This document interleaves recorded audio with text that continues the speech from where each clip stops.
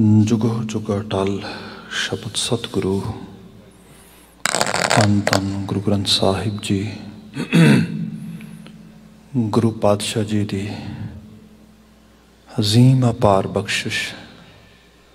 ਸਵੇਰ ਸਮੇਂ ਦੇ ਨਾ ਪਾਵਨ ਦੀਵਾਨਾਂ ਵਿੱਚ ਅਸੀਂ ਹਾਜ਼ਰੀ ਲਵਾ ਰਹੇ ਹਾਂ।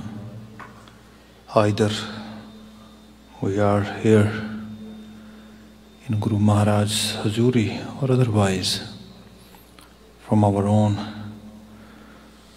places we are enjoying this virtual Sangat. That's a plus. So ਆਪ ਇਸ ਸਾਰੇ ਮੰਜ਼ਰ ਦੇ ਨਾਲ ਆਪਣੇ ਆਪ ਨੂੰ ਐਸੋਸੀਏਟ ਕਰਕੇ ਬੈਠੇ ਹੋ ਵਡਭਾਗੀ ਹੋ ਸਵੇਰ ਦੇ ਦੀਵਾਨਾਂ ਵਿੱਚ ਜਿੱਥੇ ਆਸਾ ਕੀ ਵਾਰ ਦਾ ਕੀਰਤਨ ਹੋਇਆ ਉਪਰੰਤ ਅਰਦਾਸ ਦੀ ਸ਼ਮੂਲੀਅਤ ਦੇ ਨਾਲ ਅੱਜ ਦੇ ਗੁਰਵਾਕ ਗੁਰੂ ਹੁਕਮ ਗਿਆਨੀ ਜੀ ਨੇ ਸਾਨੂੰ ਸਰਵਨ ਕਰਵਾਏ। ਪਾਵਨ ਬਚਨਾਂ ਦਾ ਪਾਠ ਸਰਵਨ ਕਰ ਲਿਆ ਹੈ। ਹੁਣ ਪਾਠਾਂ ਦਾ ਦੁਹਰਾਅ ਨਹੀਂ ਹੋਏਗਾ। ਬਣਦੇ ਸਮੇਂ ਵਿੱਚ ਇਹਨਾਂ ਗੁਰਬਚਨਾਂ ਦੇ ਅਸੀਂ ਹੁਣ ਤਕਰੀਰ ਕਰਾਂਗੇ। ਸੋ ਸਭ ਤੋਂ ਪਹਿਲਾਂ ਦਾਸ ਤੌਰਾ ਬੁਲਾਈ ਫਤਿਹ ਪ੍ਰਵਾਨ ਹੋਏ, ਕਹਿ ਦੇਣਾ ਜੀ, ਵਾਹਿਗੁਰੂ ਜੀ ਕਾ ਖਾਲਸਾ। ਵਾਹਿਗੁਰੂ ਜੀ ਕੀ ਫਤਿਹ। ਅੱਜ ਦਾ ਇਹ ਗੁਰੂ ਹੁਕਮ ਜੋ ਸਿਰਨਾਵਾ ਕੈਰੀ ਕਰ ਰਿਹਾ ਹੈ, ਉਹ ਹੈਗਾ ਹੈ ਰਾਗ, ਸੂਰਠ, ਬਾਣੀ ਭਗਤ ਰਵਿਦਾਸ ਜੀ ਕੀ ਇੱਕ ਓੰਕਾਰ ਸਤਿਗੁਰ ਪ੍ਰਸਾਦ। ਸੂਰਠ ਰਾਗ ਅੰਦਰ ਬਾਣੀਕਾਰ ਭਗਤ ਰਵਿਦਾਸ ਜੀ, ਉਹਨਾਂ ਦੁਆਰਾ ਇਹ ਰਚਨਾ ਰਚੀ ਗਈ ਹੈ ਸ਼ਬਦ। ਉਹਨਾਂ ਦੇ ਮੁਖਾਰਬਿੰਦ ਤੋਂ ਆਮਦ ਲੈ ਰਿਹਾ ਹੈ।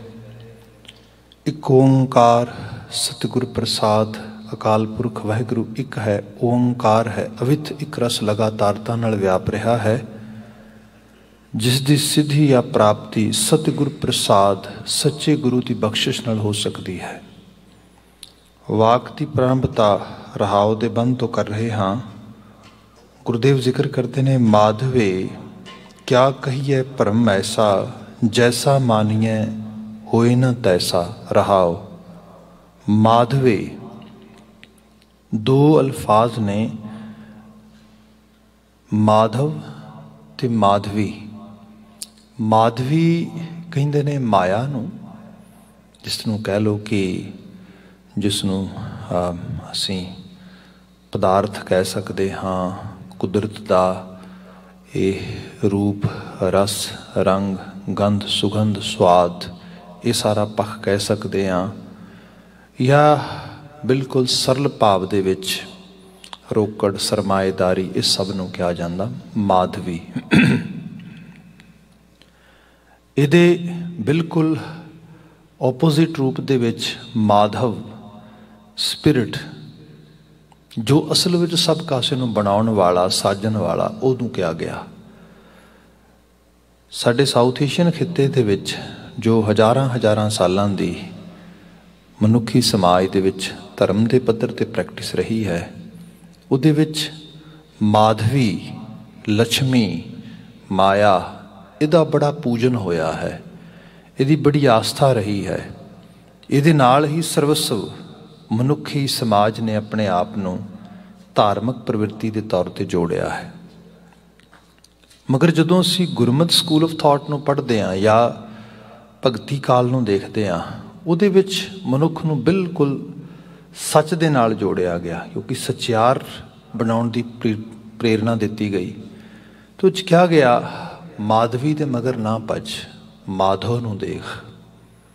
ਜੇ ਬਹੁਤ ਜ਼ਿਆਦਾ ਪਰਛਾਵੇਂ ਫੜੇਗਾ, ਕਿਉਂਕਿ ਜੋ ਮਾਧਵੀ ਜਾਂ ਮਾਇਆ ਜਿਸ ਨੂੰ ਕਿਹਾ ਗਿਆ ਆ, ਉਹਦੀ ਵਿਆਖਿਆ ਬਾਣੀ 'ਚ ਇਸ ਤਰ੍ਹਾਂ ਬਿਆਨ ਕੀਤੀ ਗਈ ਕਿ ਇਹਦੀ ਜਿਹੜੀ ਅਸਲ ਵਿੱਚ ਐਕਸਪਲੇਨੇਸ਼ਨ ਆ, ਉਹ ਹੈ ਤ੍ਰਿਣ ਕੀ ਅਗਨ, ਮੇਘ ਕੀ ਛਾਇਆ, ਗੋਬਿੰਦ ਭਜਨ ਬਿਨ ਹੜ ਕਾ ਜਲ।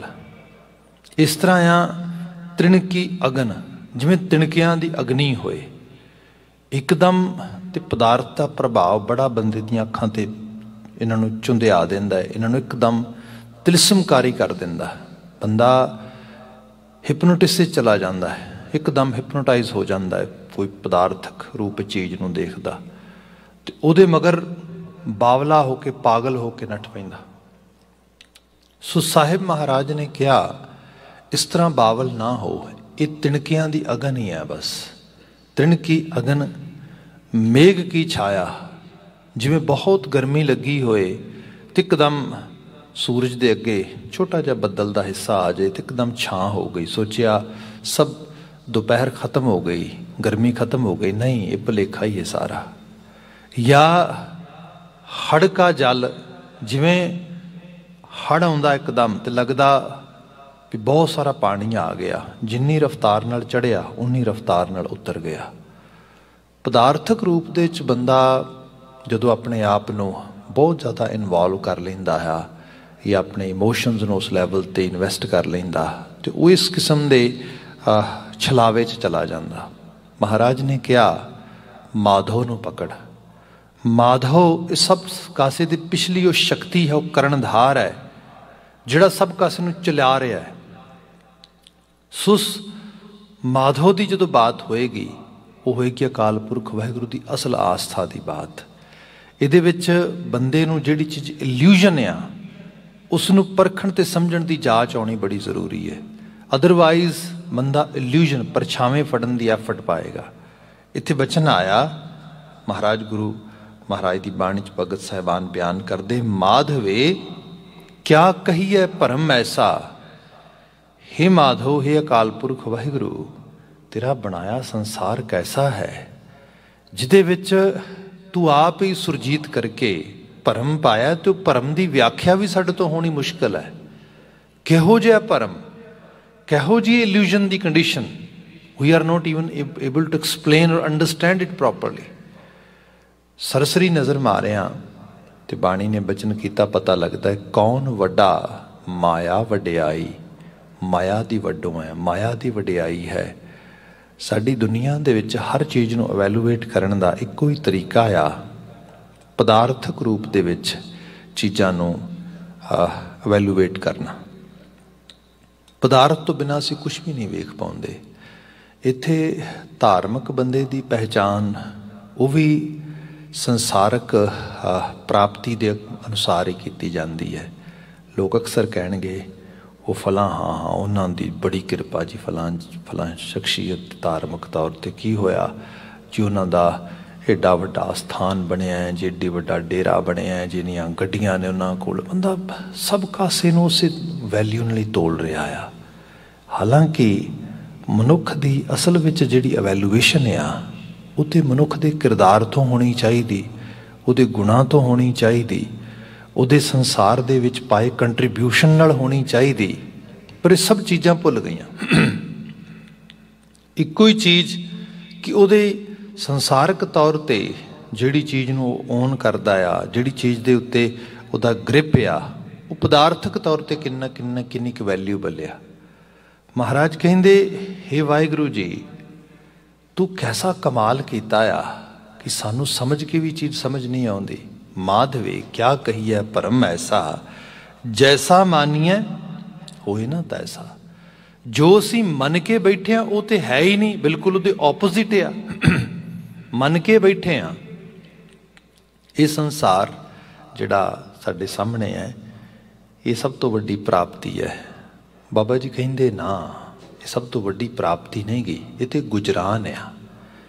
ਇੱਕ ਦਿਨ ਆਵੇਗਾ ਐਸਾ ਕਿ ਇਹ ਤੇਰੀਆਂ ਅੱਖਾਂ ਦੇ ਸਾਹਮਣੇ ਤੇਰੇ ਤੋਂ ਛੁੱਟ ਜਾਏਗਾ। ਤੇ ਤੂੰ ਰੋਜ਼ ਵੇਖਦਾ ਇਹੋ ਜਿਹੇ ਮੰਜ਼ਰ। ਆਪਣੀਆਂ ਅੱਖਾਂ ਦੇ ਸਾਹਮਣੇ ਲੋਕਾਂ ਨੂੰ ਇੱਥੇ ਮੇਰ ਮੇਰ ਕਰਦੇ ਆ ਮੇਰਾ ਮੇਰਾ ਕਰਦੇ ਆ ਆਪਣੀਆਂ ਮੈਂ ਦੀਆਂ ਮੋਹਰਾਂ ਲਗਾਉਂਦਿਆਂ ਦੇਖਦਾ ਤੇ ਫਿਰ ਸਭ ਕੁਝ ਛੱਡ ਕੇ ਵਿਦਾ ਹੁੰਦਿਆਂ ਖਾਲੀ ਹੱਥ ਦੇਖਦਾ। ਪਰ ਕਮਾਲ ਇਹ ਹੈ, ਇਹ ਇਲੂਜਨ ਤੈਨੂੰ ਦਿਸ ਕੇ ਵੀ ਨਹੀਂ ਦਿਸ ਪਾਉਂਦਾ। ਗੁਰੂ ਤੇਗ ਬਹਾਦਰ ਮਹਾਰਾਜ ਜੀ ਦੇ ਬਚਨ ਨੇ, ਉਹ ਕਹਿੰਦੇ, ਸਾਧੋ ਰਚਨਾ RAM ਬਣਾਈ। ਕਿਆ ਰਚਨਾ ਤੋਂ ਬਣਾਈ ਹੈ ਰੱਬ ਜੀ? ਕਿਆ ਰਚਨਹਾਰ ਹੈ ਤੂੰ? ਕੀ ਹੈ ਜੀ ਰਚਨਾ ਦੇ ਵਿੱਚ? ਸਾਧ ਹੋ ਰਚਨਾ RAM ਬਣਾਈ। ਇੱਕ ਬਿਨਸ ਹੈ, ਇੱਕ ਅਸਥਿਰ ਮਨ ਹੈ। ਅਚਰਜ ਲਖਿਓ ਨਾ ਜਾਏ ਅੱਖਾਂ ਦੇ ਸਾਹਮਣੇ ਇੱਕ ਬਿਨਸ ਦਾ, ਜਿਹਨੂੰ ਬਿਨਸਦੇ ਨੂੰ ਵੇਖਦਾ, ਸਭ ਕਾਸੇ ਨੂੰ ਛੱਡਦੇ, ਤਿਆਗਦੇ ਨੂੰ ਦੇਖਦਾ, ਜਿਹੜੀਆਂ ਦੇਖਣ ਵਾਲੀਆਂ ਅੱਖਾਂ ਨੇ ਸੋਚਦੀਆਂ, ਬਸ ਇੰਨੇ ਹੀ ਛੱਡਣਾ ਸੀਗਾ, ਇੰਨੇ ਹੀ ਜਾਣਾ ਸੀਗਾ, ਆਪਾਂ ਨਹੀਂ ਜਾਣਾ। ਨਾ।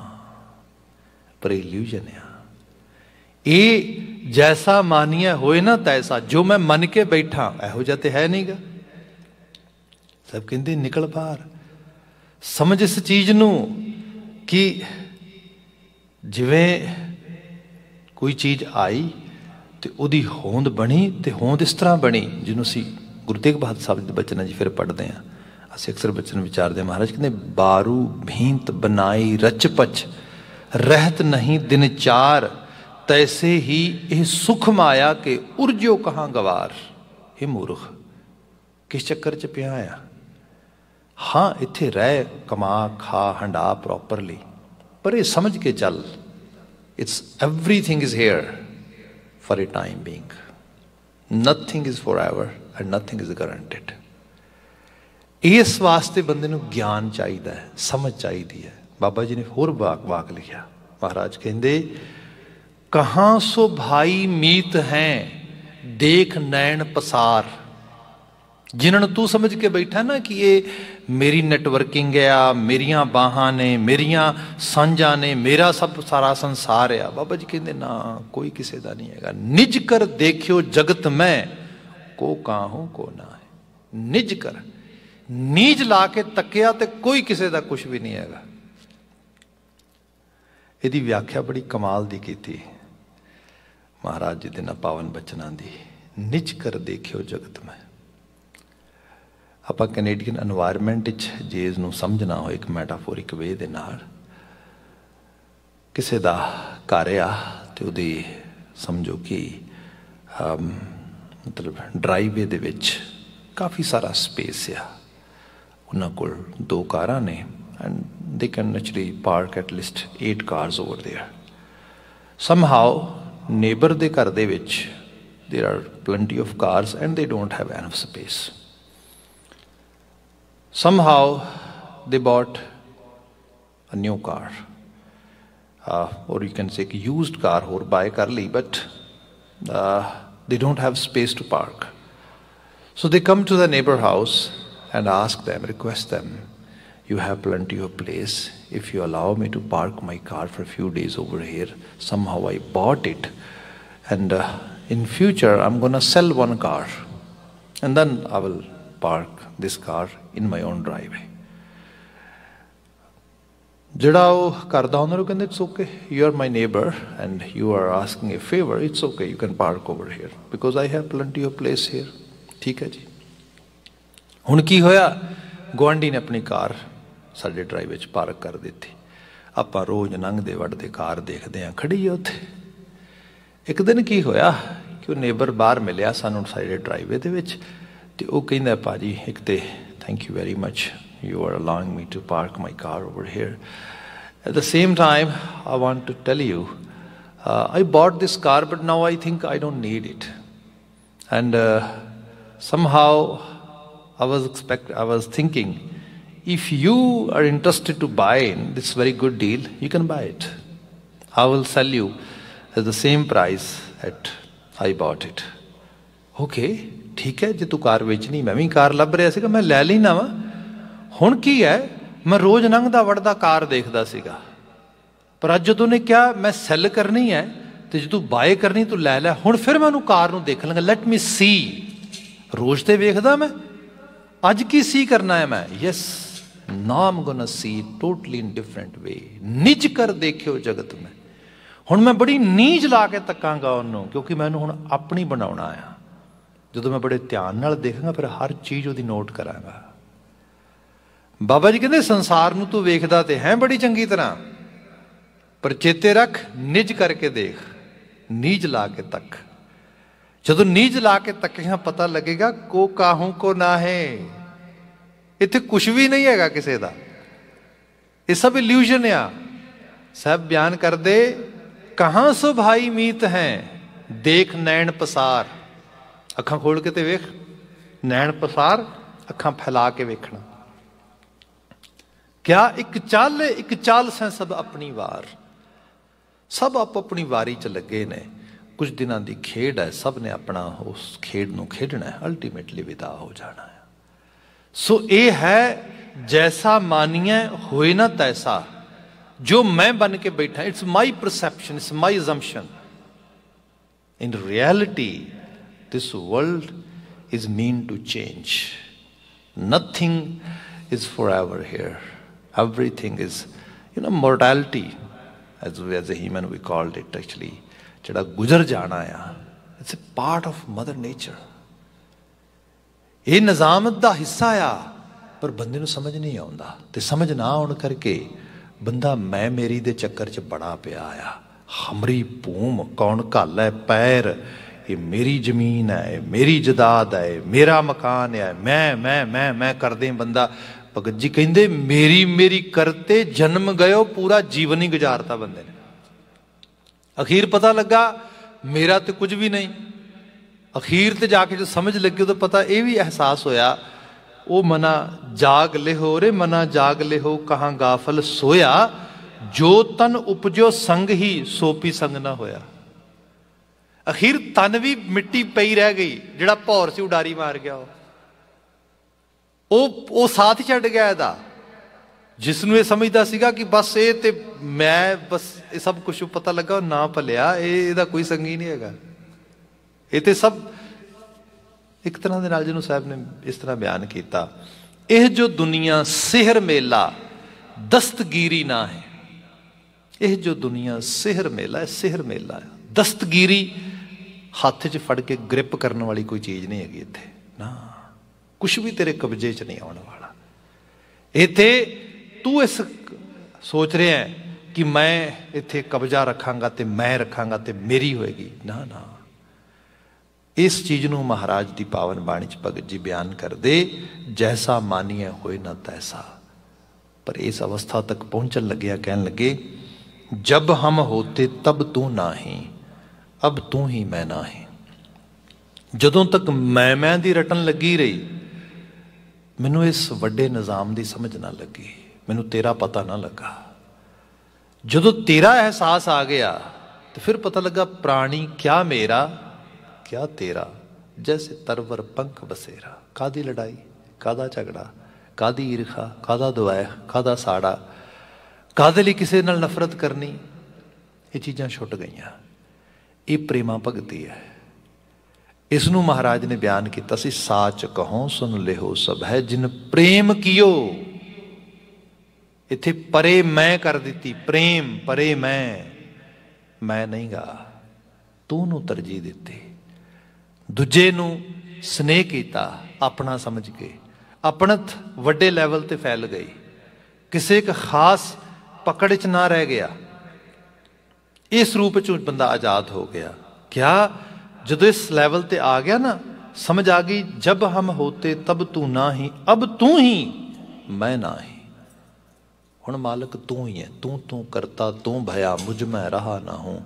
ਹੁਣ ਮੈਂ, ਮੇਰੀ ਕੀ ਹੋਂਦ ਹੈ, ਮੇਰੀ ਕੀ ਪਾਇਆ ਆ? ਅਗਲਾ ਵਾਕ, ਅਨਲ ਅਗਮ ਜੈਸੇ ਲਹਿਰ ਮੈਂ ਉਦਦ ਜਲ ਕੇਵਲ ਜਲ ਮਾਹੀ। ਮਿਸਾਲ ਦਿੱਤੀ ਬੜੇ ਰੈਸ਼ਨਲ ਵੇ ਦੇ ਨਾਲ, ਅਨਲ ਅਗਮ ਜੈਸੇ ਲਹਿਰ ਮੈਂ ਉਦਦ ਹਵਾ ਤੇਜ਼ ਚਲਦੀ ਤੇ ਤੇਜ਼ ਚਲਦੀ ਹਵਾ ਦੇ ਨਾਲ ਸਮੁੰਦਰ 'ਚ ਲਹਿਰਾਂ ਉੱਠਦੀਆਂ। ਹੁਣ ਕੋਈ ਸ਼ਖਸ ਲਹਿਰਾਂ ਤੇ ਸਮੁੰਦਰ ਨੂੰ ਜੁਦਾ ਕਰਕੇ ਦੇਖੇ, ਪਾਣੀ ਤੇ ਲਹਿਰਾਂ ਨੂੰ ਜੁਦਾ ਕਰਕੇ ਦੇਖੇ, ਸਾਡੀ ਇਨਸਾਨੀ ਮਤ ਕਹੇਗੀ ਕਮਲਾ ਆ ਲਹਿਰਾਂ ਪਾਣੀ ਕਰਕੇ ਹੀ ਨੇ। ਤੇ ਅਖੀਰ ਲਹਿਰਾਂ ਇੱਕ ਦਿਨ ਮੁੱਕ ਜਾਣੀ ਤੇ ਪਾਣੀ 'ਚ ਹੀ ਸਮਾ ਜਾਣੀਆਂ ਨੇ। ਆ ਸੰਸਾਰੀ ਜੀਵਾ ਜੰਤ ਜੀਵਾ ਜੰਤ ਜਿਹੜਾ ਹੈ ਨਾ ਸਾਰਾ ਇਸ ਕਰਤਾਰੀ ਕੁਦਰਤ ਵਿੱਚ ਇੱਕ ਲਹਿਰਾਂ ਨੇ ਬਸ, ਹੋਰ ਕੁਝ ਵੀ ਨਹੀਂ। ਹੈ ਸਭ ਉਹਦਾ ਹੀ ਰੂਪ ਆ। ਇਸ ਲਈ ਕਿਹਦੇ ਤੋਂ ਨਫ਼ਰਤ ਕਰਾਂਗੇ, ਕਿਹਦੇ ਤੋਂ ਈਰਖਾ ਦਵਾਇ ਕਰਾਂਗੇ? ਜਦੋਂ ਮਹਾਰਾਜ ਬਾਤ ਕਹਿੰਦੇ ਨਾ, ਸਾਨੂੰ ਇੱਕ ਸਪਿਰਚੁਅਲ ਲੈਵਲ ਤੇ ਸੰਗਤ ਕਰਨ ਦੀ ਤੇ ਗਿਆਨ ਪ੍ਰਾਪਤ ਕਰਨ ਦੀ ਇਸ ਸ਼ਬਦ ਪੜ੍ਹਦੇ ਆ। ਆਪਣੀ ਬਿਆਨ ਕਰਦੇ ਕਿ ਬਿਸਰ ਗਈ ਸਭ ਤਾਤ ਪਰਾਈ। ਪਰਾਈ ਤਾਤ ਬੜੀ ਜੋਰਾਵਰ ਹੈ। ਇੱਕੋ ਘਰ ਹੈ। ਸੰਸਾਰ ਨੂੰ ਤੇ ਛੱਡੋ ਇੱਕ ਪਾਸੇ। ਇੱਕ ਘਰ ਦੇ ਵਿੱਚ ਇੱਕ ਰਸੋਈ ਹੈ। ਉਹਦੇ 'ਚ ਇੱਕ ਨਨਾਣ ਹੈ। ਇੱਕ ਪਰਜਾਈ ਹੈ। ਇੱਕ ਦਰਾਣੀ ਹੈ। ਇੱਕ ਜਠਾਣੀ ਹੈ। ਇੱਕ ਸੱਸ ਹੈ।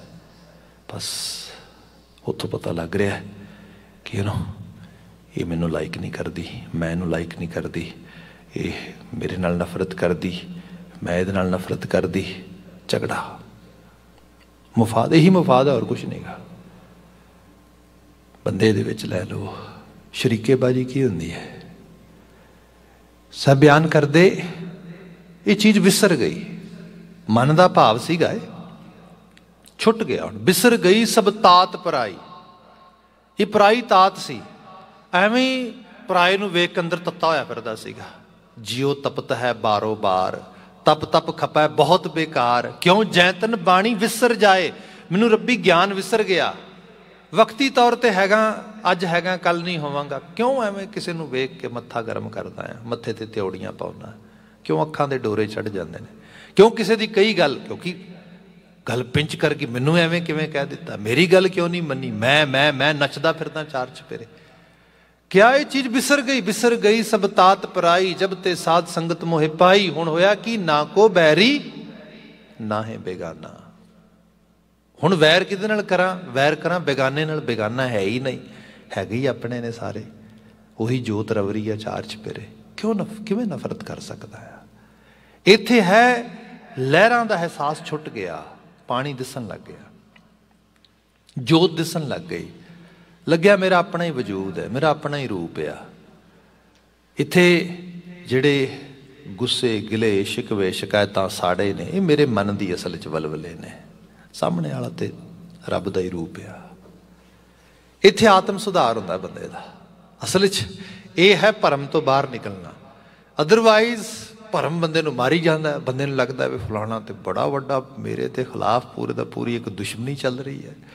ਮੇਰੇ ਖਿਲਾਫ ਇੱਕ ਕੌਨਸਪੀਰੇਸੀ ਹੋ ਰਹੀ ਪੂਰੀ ਦੀ ਪੂਰੀ। ਮੇਰੇ ਨੂੰ ਤੇ ਇਹ ਸਾਰੀ ਤੇ ਇਹ ਹਾਗੇ ਮਨ ਦੇ ਬਵੰਡਰ ਨੇ ਸਾਰੇ। ਕੁਝ ਵੀ ਨਹੀਂ।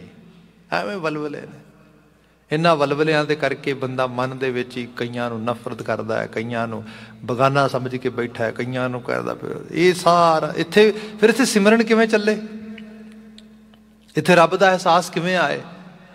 ਇੱਥੇ ਤਾਂ ਫਿਰ ਸਿਰਫ ਇੱਕੋ ਚੀਜ਼ ਹੀ ਆ ਸਕਦੀ ਹੈ ਕਿ ਬੰਦਾ ਜਿਵੇਂ ਲੱਗਦਾ ਕਿ ਦੂਸਰਾ ਮੇਰੇ ਬਾਰੇ ਐਵੇਂ ਸੋਚਦਾ, ਮੈਂ ਉਸ ਤੋਂ 10 ਗੁਣਾ ਵੱਧ ਗਲਤ ਸੋਚ ਕੇ ਤੇ ਇੱਕ ਅਜੀਬ ਤਰ੍ਹਾਂ ਦੇ ਲੈਵਲ ਤੇ એનર્ਜੀ ਬੰਦਾ ਆਪਣੀ ਵੇਸਟ ਕਰ ਰਿਹਾ ਸਭ ਬਿਆਨ ਕਰ ਦੇਣਾ ਹੁਣ ਸਮਝ ਆ ਗਈ, ਅਨਲ ਅਗਮ ਜੈਸੇ ਲਹਿਰ ਮੈਂ ਉਦਤ, ਜਲ ਕੇਵਲ ਜਲ ਮਾਹੀ। ਅਖੀਰ ਲਹਿਰਾਂ ਦਾ ਮੰਜਰ ਜਿਹੜਾ ਮਨ ਵਿੱਚ ਉੱਠ ਰਿਹਾ ਸੀਗਾ, ਵਲਵਲੇ, ਉਹ ਕੱਟ ਗਏ। ਜਲ ਕੇਵਲ ਜਲ ਮਾਹੀ, ਉਹ ਸਮੁੰਦ ਪਾਣੀ ਜਿਹੜਾ ਸੀਗਾ, ਉਹ ਪਾਣੀ ਦਿਸ ਗਿਆ ਉਸ ਰੂਪ ਦੇ ਵਿੱਚ। ਅੱਗੇ ਮਿਸਾਲ ਇਸ ਤੋਂ ਵੀ ਕਮਾਲ ਦੀ ਦਿੱਤੀ। ਨਰਪਤ ਏਕ ਸਿੰਘਾਸਨ ਸੋਇਆ, ਸੁਪਨੇ ਪਿਆ ਭਿਖਾਰੀ। ਬੰਦਾ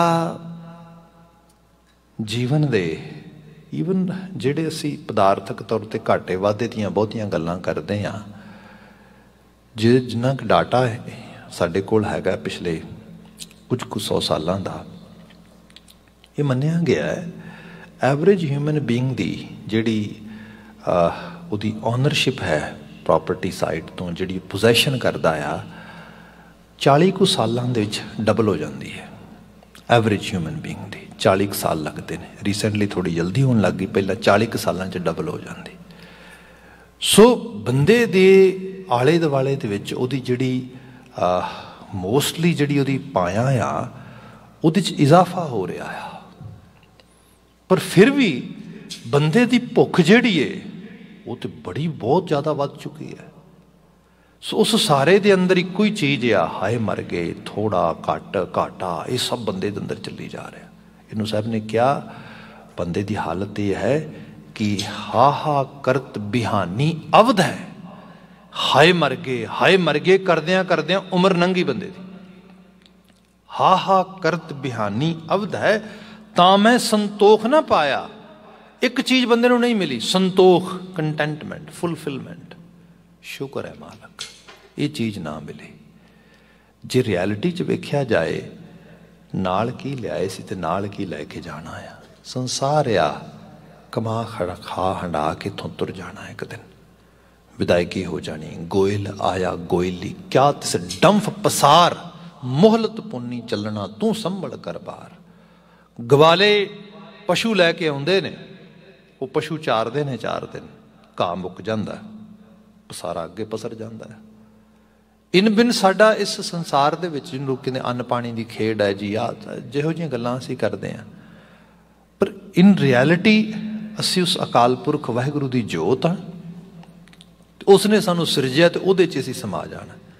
ਸਭ ਕਹਿੰਦੇ ਬੰਦੇ ਦੀ ਸਿਰਫ ਇੰਨੀ ਕੰਡੀਸ਼ਨ ਹੈ ਕਿ ਨਰਪਤ ਏਕ ਸਿੰਘਾਸਨ ਸੋਇਆ, ਇੱਕ ਰਾਜਾ ਨਰਪਤ ਨਰਾਂ ਦਾ ਪਤੀ, ਬਾਦਸ਼ਾਹ ਰਾਜਾ, ਸਿੰਘਾਸਨ ਆਪਣੀ ਗੱਦੀ ਤੇ ਬੈਠਾ, ਬੈਠੇ ਨੂੰ ਨੀਂਦ ਆ ਗਈ। ਨੀਂਦ ਵਿੱਚ ਸੁਪਨਾ ਆ ਗਿਆ। ਨਰਪਤ ਏਕ ਸਿੰਘਾਸਨ ਸੋਇਆ। ਸੁਪਨੇ ਭਇਆ ਭਿਖਾਰੀ। ਸੁਪਨੇ 'ਚ ਕੀ ਹੋਇਆ? ਭਿਖਾਰੀ ਬਣ ਗਿਆ। ਗਦਾਧਰ, ਜਿਹਨੂੰ ਸੀ ਪੈਨ ਹੈਂਡਲਰ ਕਹਿੰਦੇ ਆ ਹੱਥ 'ਚ ਫੜਿਆ, ਜਿਹੜਾ ਕਾਸਾ ਮੰਗ ਰਿਹਾ। ਓ ਹੋ ਹੋ ਮੰਗ ਰਿਹਾ ਨਾਲੇ ਰੋ ਰਿਹਾ ਕੋਈ ਭਿਖਿਆ ਨਹੀਂ ਪਾ ਰਿਹਾ। ਡਾਰੇ ਲੱਗ ਰਿਹਾ, ਮੇਰਾ ਰਾਜ ਚਲਾ ਗਿਆ ਹੈ, ਮੇਰਾ ਕੀ ਬਣੇਗਾ? ਇਹ ਸਭ ਸਾਡੇ ਸਾਰਿਆਂ ਦੇ ਰੋਣੇ ਕੁਝ ਇਹੋ ਜਿਹੇ ਨੇ। ਅਸੀਂ ਸਿੰਘਾਸਨ ਤੇ ਬੈਠੇ ਰੋ ਰਹੇ ਹਾਂ, ਸੁਪਨੇ 'ਚ ਰੋ ਰਹੇ ਹਾਂ। ਜਿਹਨੂੰ ਆ ਪਹਿਲਾਂ ਬਿਆਨ ਕਰ ਸੀ, ਪ੍ਰਾਣੀ, ਕਿਆ ਮੇਰਾ, ਕਿਆ ਤੇਰਾ? ਜੈਸੇ ਤਰਵਰ, ਪੰਖ ਬਸੇਰਾ, ਨਾ ਕੁਝ ਨਾਲ ਲਿਆਇਆ ਨਾ ਕੁਝ ਨਾਲ ਲੈ ਕੇ ਜਾਣਾ ਹੈ। ਕਿਸ ਕਿਸ ਚੱਕਰ 'ਚ ਪਿਆ ਤੋ? ਅਸਲ 'ਚ ਗਵਾਇਆ ਕੀ ਹੈ ਤੇ ਪਾਇਆ ਕੀ ਹੈ ਜੇ ਡੀਪ ਲੈਵਲ ਤੇ ਦੇਖਿਆ ਜਾਏ ਤੇ ਬੰਦੇ ਨੂੰ ਰੂਹਾਨੀ ਤੌਰ ਤੇ ਸਮਝ ਆਏ ਕਿ ਅਸਲ 'ਚ ਮੈਂ ਪਾਇਆ, ਜੇ ਤੇ ਕੋਈ ਚੰਗੇ ਕੰਮ ਕੀਤੇ ਨੇ, ਫਿਰ ਤੇ ਪ੍ਰਾਪਤੀ ਹੋ ਗਈ। ਤੇ ਜੇ ਚੰਗੇ ਕੰਮਾਂ ਤੋਂ ਚੁੱਕ ਗਿਆ, ਫਿਰ ਲਾਸ ਹੋ ਗਿਆ, ਪਰ ਇਹਦੀ ਸਮਝ ਨਹੀਂ। ਸਮਝ ਇੰਨੀ ਕੀ ਹੈ ਕਿ ਮੈਂ ਮਟੀਰੀਅਲਿਸਟਿਕ ਸਾਈਡ ਤੋਂ ਕਿਤੇ ਕੁਝ ਲੋਸ ਤੇ ਨਹੀਂ ਕਰ ਗਿਆ। ਕੁਝ ਉਧਰੋਂ ਕੋਈ ਮੈਨੂੰ ਲੂਜ਼ ਤੇ ਨਹੀਂ ਹੋਇਆ, ਕਿਤੇ ਉਹ ਨੁਕਸਾਨ ਤੇ ਨਹੀਂ ਹੋ ਗਿਆ। ਸਾਹਿਬ ਬਿਆਨ ਕਰਦੇ ਨਰਪਤ ਇੱਕ ਸਿੰਘਾਸਨ ਸੋਇਆ ਸੁਪਨੇ ਭਇਆ ਭਿਖਾਰੀ, ਅਛਤ ਰਾਜ ਵਿਚਰਤ ਦੁਖ ਪਾਇਆ ਸੋਗਤ ਪਈ ਹਮਾਰੀ। ਇਹ ਰਾਜੇ ਦੀ ਗੱਲ ਨਹੀਂ ਕਿ ਬਾਬਾ ਜੀ ਕਹਿੰਦੇ ਸਾਡੀ ਗੱਲ ਹੈ। ਅਛਤ ਰਾਜ, ਜੋ ਰਾਜ ਭਾਗ ਮੌਜੂਦ ਆ, ਉਹਦੇ ਹੁੰਦਿਆਂ ਹੀ ਨਾ ਵਾਹਿਗੁਰੂ ਖਤਮ ਹੋਇਆ, ਨਾ ਵਾਹਿਗੁਰੂ ਦਾ ਨਾਮ ਖਤਮ ਹੋਇਆ, ਨਾ ਉਹਦੀ ਬਰਕਤ ਖਤਮ ਹੋਈ ਹੈ। ਉਹ ਕੱਲ ਵੀ ਸੀ, ਉਹ ਅੱਜ ਵੀ ਆਉਂਦੇ ਕੱਲ ਵੀ ਹੋਏਗਾ। ਆਸਣ ਲੋਏ ਲੋਏ ਪੰਡਾਰ ਜੋ ਕਿਛ ਪਾਇਆ ਸੋ ਇੱਕ ਆਵਾਰ। ਕਰ ਕਰ ਵੇਖੈ ਸਿਰਜਨਹਾਰ ਨਾਨਕ ਸੱਚੇ ਕੀ? ਸਾਚੀ ਕਾਰ। ਉਹਦੀ ਕਾਰ ਕਦੀ ਮੁੱਕ ਥੋੜਾ ਜਾਏਗੀ। ਜ਼ਮੀਨ ਦੇ ਚੱਜ ਵੀ 10 ਬੀਜ ਸੱਟੀ ਦੇ ਨੇ 10 ਬੂਟੇ ਉਗਦੇ ਨੇ। 10 ਬੀਜਾਂ ਨੂੰ ਕਈ 100 ਬੀਜ ਲੱਗ ਜਾਂਦੇ ਨੇ। ਕੁਦਰਤ ਦਾ ਖੇਡ ਹੈ। ਅੱਜ ਵੀ ਕੋਈ, ਇਹ ਥੋੜਾ ਹਾਂ ਧਰਤੀ ਦੇ ਉੱਤੇ ਲੋਕ ਹੈਗੇ ਨੇ ਜਿਹੜੇ ਸਟਰਗਲ ਕਰ ਰਹੇ ਨੇ, ਰੋਟੀ ਨਹੀਂ ਮਿਲਦੀ ਸਭ ਕੁਝ, ਪਰ ਇਹ ਮੋਸਟਲੀ ਮੈਨ ਮੇਡ ਹੈ। ਕੁਦਰਤ ਨੇ ਐਵੇਂ ਨਹੀਂ ਬਣਾਇਆ। ਅਸੀਂ ਜੇ ਸਰਲ ਭਾਵ ਵਿੱਚ ਦੇਖੀਏ ਨਾਰਥ ਅਮਰੀਕਾ 'ਚ ਰਹਿੰਦੇ ਆ ਅਸੀਂ, ਇੱਥੇ ਕਿਹਾ ਜਾਂਦਾ ਆ ਕਿ ਅਰਾਊਂਡ 40% ਫੂਡ ਐਸਾ ਆ, ਜਿਹੜਾ ਸਾਡੀਆਂ ਪੈਂਟਰੀਜ਼ ਦੇ ਵਿੱਚ ਐਕਸਪਾਇਰਡ ਹੋ ਕੇ ਜਾਂਦਾ ਹੈ। ਮਤਲਬ ਰੋਜ਼ ਦਾ ਚੁੱਲ੍ਹੇ ਤੇ ਬਣਾਇਆ ਹੋਇਆ ਖਾਣਾ, ਉਹਦੀ ਗੱਲ ਛੱਡੋ, ਉਹ ਤੇ ਬਹੁਤ ਜ਼ਿਆਦਾ ਆ। ਮਤਲਬ ਬੰਦੇ ਨੇ ਜਿੰਨੀ ਸਬਜੀ, ਭਾਜੀ, ਪਾਸਤਾ, ਲਜ਼ਾਨੀਆਂ, ਪੀਜ਼ਾ ਜੋ ਕੁਝ ਬਣਾਇਆ, ਉਹਦਾ ਤੇ ਬਹੁਤ ਥੋੜਾ ਜਿਹਾ ਪੋਰਸ਼ਨ ਖਾਂਦਾ, ਬਾਕੀ ਵੇਸਟ ਚਲਾ ਜਾਂਦਾ। ਚਲੋ ਉਹਦੀ ਤੇ ਕੋਈ ਗਿਣਤੀ ਮਿਣਤੀ ਨਹੀਂ, ਪਰ ਜਿਹੜਾ ਆਪਾਂ ਸੀਰੀਅਲ ਬਾਏ ਕਰਕੇ ਲਿਆਏ ਕੁਕੀਜ਼ ਲੈ ਕੇ ਆਏ ਜਿਹੜਾ ਹੈਗਾ ਕੈਨਸ ਫੂਡ ਦੇ ਚੱਕ ਕੇ ਲੈ ਆਏ, ਸਾਰਾ ਕੁਝ ਜਿੱਤੇ ਐਕਸਪਾਇਰੀ ਡੇਟ ਹੁੰਦੀ ਹੈ, ਉਹ 40% ਪੈਂਟਰੀਜ਼ ਵਿੱਚ ਪਿਆ ਹੋਇਆ ਕਵਰਸ ਵਿੱਚ ਪਿਆ ਹੋਇਆ ਐਕਸਪਾਇਰ ਹੋ ਜਾਂਦਾ ਗਾਰਬੇਜ ਜਾਂਦਾ 40% ਜੇ ਉਸ ਕੱਲੇ ਨੂੰ ਹੀ ਚੱਕ ਕੇ ਥਰਡ ਵਰਲਡ ਵਿੱਚ ਭੇਜ ਦਿਓ ਕੱਲਾ ਬੰਗਲਾਦੇਸ਼ ਇੱਕ ਹਫ਼ਤੇ ਦਾ ਜਿਹੜਾ ਐਕਸਪਾਇਰ ਖਾਣਾ ਆ ਅਮਰੀਕਾ ਦਾ, ਉਹ ਚਲਾ ਜਾਏ ਉੱਥੇ। ਬੰਗਲਾਦੇਸ਼ ਵਰਗਾ ਮੁਲਕ ਪੂਰਾ ਸਾਲ ਕੱਲਾ ਖਾ ਸਕਦਾ। ਇਹ ਬੰਦੇ ਨੇ ਬਣਾਇਆ, ਬੰਦੇ ਦੀ ਦੁਨੀਆ ਇਹੋ ਜੀ ਹੈਗੀ ਹੈ। ਇਹਨੂੰ ਕੋਈ ਮਤਲਬ ਮਿਸਮੈਨੇਜ ਕੀਤਾ ਸਾਰੇ ਸਾਰਾ ਅਦਰਵਾਈਜ਼ ਕੁਦਰਤ ਵੱਲੋਂ ਕੋਈ ਕਮੀ ਨਹੀਂ ਹੈ। ਅਛਤ ਰਾਜ ਵਿਚਰਤ ਦੁੱਖ ਪਾਇਆ। ਅਸੀਂ ਆਪਣੀ ਸੁਰਤ ਕਰਕੇ ਰਾਜ ਗਵਾ ਦਿੱਤਾ। ਸਾਨੂੰ ਅਹਿਸਾਸ ਨਹੀਂ ਕਿ ਵੀ ਉਹ ਮਾਲਕ ਤੇ ਕਾਇਮ ਦਾਇਮ ਆ ਉਹ ਮਰ ਥੋੜਾ ਗਿਆ ਆ। ਉਹ ਤੇ ਹਰ ਵਕਤ ਹਾਜ਼ਰ ਨਾਜ਼ਰ ਆ। ਅਛਤ ਰਾਜ ਵਿਚਰਤ ਦੁੱਖ ਪਾਇਆ। ਸੋਗਤ ਪਈ ਹਮਾਰੀ। ਸਾਡੀ ਇਹ ਅਵਸਥਾ ਆ। ਅਗਲਾ ਬਚਨ ਲਿਖਿਆ, ਰਾਜ ਪੁਯੰਗ ਪ੍ਰਸੰਗ ਜੈਸੇ ਹੈ, ਅਬ ਕਛ ਮਰਮ ਜਨਾਇਆ। ਰਾਜ, ਬ੍ਰਿਜ ਦਾ ਲਫ਼ਜ਼ ਹੈ ਰਜੂ, ਰੱਸੀ। ਅਸੀਂ ਉਸ ਖਿੱਤੇ 'ਚ ਆਏ ਆ, ਜਿੱਥੇ ਸਾਡੀ ਵਾਬਸਤਗੀ ਸੱਪ ਕੀੜੇ ਮਕੌੜ ਇਹਨਾਂ ਨਾਲ ਕਾਫੀ ਰਹੀ ਕਿਉਂਕਿ ਡਰਾਈ ਏਰੀਆ ਹੈ, ਗਰਮੀ ਬਹੁਤ ਪੈਂਦੀ ਤੇ ਗਰਮੀ ਦੇ ਵਿੱਚ ਕੁਦਰਤ ਵੱਲੋਂ ਇਹੋ ਜਿਹੇ ਜੀਆ ਜੰਤ ਪੈਦਾ ਕੀਤੇ ਜਾਂਦੇ, ਉਹਦਾ ਹੈਬਿਟੈਟ ਹੈ ਉੱਥੇ। ਤਾਂ ਆਪਾਂ ਜਿਨ੍ਹਾਂ ਨੇ ਸੱਪਾਂ ਨਾਲ ਵਾਬਸਤਗੀ ਰੱਖੀ ਹੋਏ, ਸੱਪਾਂ ਨੂੰ ਵੇਖਿਆ ਹੋਏ, ਤੁਰਦਿਆਂ ਫਿਰਦਿਆਂ, ਖਾਸ ਕਰ ਗਰਮੀ ਦੀ ਰੁੱਤ ਵਿੱਚ, ਤੇ ਕਿਤੇ ਉਸ ਰੁੱਤ ਦੇ ਵਿੱਚ ਸ਼ਾਮ ਪੈ ਰਹੀ ਹੋਏ, ਕੁਝ ਹਨੇਰਾ ਹੈ, ਕੁਝ ਚਾਨਣ ਹੈ ਸਾਹਮਣੇ, ਇਸ ਤਰੀਕੇ ਨਾਲ ਵਲ ਪਾ ਕੇ ਕੋਈ ਚੀਜ਼ ਲੱਗੇ ਤੇ ਲੱਗੇ ਸੱਪ ਆ ਬਈ। ਕਿਉਂਕਿ ਸੱਪ ਵੇਖੇ ਨੇ, ਉਹ ਵਲ ਪਾ ਕੇ ਐਵੇਂ ਬੈਠੇ ਹੁੰਦੇ ਨੇ। ਤਾਂ ਹੀ ਤੇ ਫਟਾਫਟ ਲਾਈਟ ਲਿਆਂਦੀ, ਰੌਸ਼ਨੀ ਲਿਆਂਦੀ, ਰੌਸ਼ਨੀ ਮਾਰੀ, ਪਤਾ ਲੱਗਾ ਨਹੀਂ ਨਹੀਂ, ਅਸਲ 'ਚ ਭੁਲੇਖਾ ਸੀਗਾ, ਰੱਸੀ ਹੈ। ਸਾਨੂੰ ਵੀ ਐਵੇਂ ਲੱਗਦਾ, ਜਿਵੇਂ ਆ ਪਹਿਲਾਂ ਕੀਤੀ ਨੁਕਸਾਨ ਦੀਆਂ ਗੱਲਾਂ, ਸਭ ਇਹ ਰੱਸੀ ਨੂੰ ਸੱਪ ਸਮਝ ਕੇ ਬੈਠੇ ਆ। ਸਾਹਿਬ ਕਹਿੰਦੇ, ਰਾਜ ਭੁਯੰਗ ਪ੍ਰਸੰਗ ਜੈਸੇ ਹੈ, ਅਬ ਕਛ ਮਰਮ ਜਨਾਇਆ। ਹੁਣ ਮਰਮ ਜਾਣ ਲਿਆ। ਹੁਣ ਇਹਨੂੰ ਇਨਡੀਡ ਸਮਝ ਲਿਆ। ਅਨਕ ਕਟਕ ਜੈਸੇ ਭੂਲ ਪਰੇ, ਅਬ ਕਹਤੇ ਕਹਿ ਨਾ ਆਇਆ। ਕਟਕ ਕਟਕ ਸ਼ਿੰਗਾਰਿਤ ਕਰਨ ਵਾਲੀਆਂ ਚੀਜ਼ਾਂ, ਜਿਵੇਂ ਗਹਿਣੇ ਹੁੰਦੇ ਨੇ। ਬੰਦਾ ਵੇਖਣ ਨੂੰ ਗਹਿਣੇ, ਆ ਕੜੇ ਨੇ, ਆ ਮੁੰਦਰੀਆਂ ਨੇ, ਆ ਹਾਰ ਨੇ, ਪਰ ਐਕਚੁਅਲ ਲੈਵਲ ਤੇ ਹੈ ਤੇ ਸੋਨਾ ਹੀ ਹੈ ਸਾਰਾ। ਜੇ ਵੇਖਿਆ ਜਾਏ ਰੂਪ ਰੰਗ ਬੰਦਿਆਂ ਦੇ ਵੱਖਰੇ ਨੇ, ਪਰ ਅਸਲ 'ਚ ਰੱਬ ਦੀ ਜੋਤ ਹੀ ਹੈ ਸਾਰੀ। ਸਰਬੇ ਏਕ ਅਨੇਕਾ ਸੁਆਮੀ, ਸਭ ਕਟ ਭੁਗਵੈ ਸੋਈ। ਸਭ ਵਿੱਚੋਂ ਇੱਕ ਅਕਾਲ ਪੁਰਖ ਵਾਹਿਗੁਰੂ ਆਪ ਹੀ ਭੁਗਤ ਰਿਹਾ ਹੈ। ਉਸ ਤੋਂ ਬਿਨਾ ਹੋਰ ਹੈ ਕੋਈ ਨਹੀਂਗਾ। ਕਹਿ ਰਵਿਦਾਸ ਹੱਥ ਪੈ ਨੇਰੇ, ਸਹਜੇ ਹੋਈ ਸੋ ਹੋਈ ਕਿਆ? ਕੋਈ ਬੰਦਾ ਕਹਿੰਦਾ, ਕਿੱਥੇ ਆ ਰੱਬ? ਭਗਤ ਜੀ ਕਹਿੰਦੇ, ਆ ਤੇਰਾ ਹੱਥ ਤੇਰੇ ਕਿੰਨੇ ਨੇੜੇ ਦਿਸਦਾ ਆ। ਹੱਥ ਵੀ ਉਹਨਾਂ ਨੇੜੇ ਨਹੀਂ ਜਿੰਨਾ ਰੱਬ ਨੇੜੇ ਆ। ਅਸੀਂ ਆ ਪੰਜਾਬੀ ਦਾ ਖਾਨ ਕਹਿੰਦੇ, ਰੱਬ ਨੇੜੇ ਕਿ ਕਸੁੰਨ ਐਕਚੁਅਲੀ ਨਾ। ਜੋਰਾਵਰ ਬੰਦਾ, ਤਾਕਤਵਰ ਬੰਦਾ ਕਹਿੰਦਾ, ਮੈਂ ਆਪਣੀ ਤਾਕਤ ਕਰ ਸਕਦਾ। ਕਹਿੰਦੇ, ਨਾ, ਰੱਬ ਦੀ ਤਾਕਤ ਹੈ ਜਿਹੜੀ ਚੱਲ ਰਹੀ ਹੈ। ਬੰਦਾ ਬੰਦਾ ਤੇ ਜਿੱਦਨ ਉਹ ਜੋਤ ਖਿੱਚ ਲੈਂਦਾ, ਇਹ ਹੱਥ ਪਏ ਪਵਾਏ ਰਹਿ ਜਾਂਦੇ ਨੇ। ਸੋ ਸਭ ਉਹਦੀ ਪਾਇਆ ਹੈ। ਉਸੇ ਪਾਇਆਂ ਵਾਲੇ ਉਸ ਪਰਮ ਹਸਤੀ ਦੇ ਨਾਲ ਹੀ ਸਾਨੂੰ ਜੁੜਨ ਦੀ ਪ੍ਰੇਰਣਾ ਹੈ। ਸਭ ਰਹਿਮਤ ਕਰਨ ਇਹਨਾਂ ਆਲਮੀ ਵਾਕਾਂ ਦੀ ਪ੍ਰੀਤੀ ਸਾਡੀ ਸੁਰਤ ਹੰਡਾਏ ਇਹੀ ਦਿਲੀ ਅਰਦਾਸ ਆ। ਇਨੀਆਂ ਕੁ ਬੇਨਤੀਆਂ ਨਾਲ ਖਿਮਾ, ਭੁੱਲਾਂ ਗਲਤੀਆਂ ਨਾ ਚਤਾਰਿਓ ਜੇ। ਇੱਥੇ ਹੀ ਆਵਾਜ਼ ਦੇ ਕੇ ਕਹਿ ਦੇਣਾ ਜੀ, ਵਾਹਿਗੁਰੂ ਜੀ ਕਾ ਖਾਲਸਾ, ਵਾਹਿਗੁਰੂ ਜੀ ਕੀ ਫਤਿਹ।